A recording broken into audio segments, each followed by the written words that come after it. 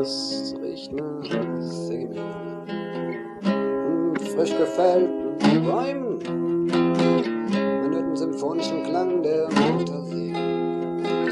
Man steht vor gesperrten Wegen. Und es riecht nach Segemi. Gelb gekleidet, Hemd und Soldaten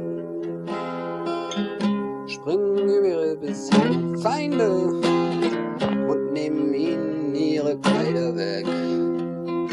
Der Stolz liegt im Dreck, miteinander ein lebriges Blut in den Händen der Soldaten. Die Besiegten werden dann festgekettet und von der metallenen Nachhut weggezerrt. Gezählt, gebündelt, vermessen, sortiert. Mal werden sie deportiert und massakriert. Sie sind aneinander gekettet. Sie werden auf Lastern verladen. Ein Offizier brüllt seinen Befehl.